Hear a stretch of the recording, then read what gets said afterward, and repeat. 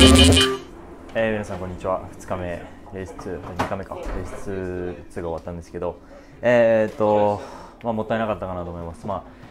え2周目の1コーナーのブレーキかな。そこでもう踏んだ時に多分ちょうど場所が悪くて1コーナーちょっとバンプがあるんですけどちょうど多分バンプの上でブレーキになってもう踏んだ瞬間にロックしたんで、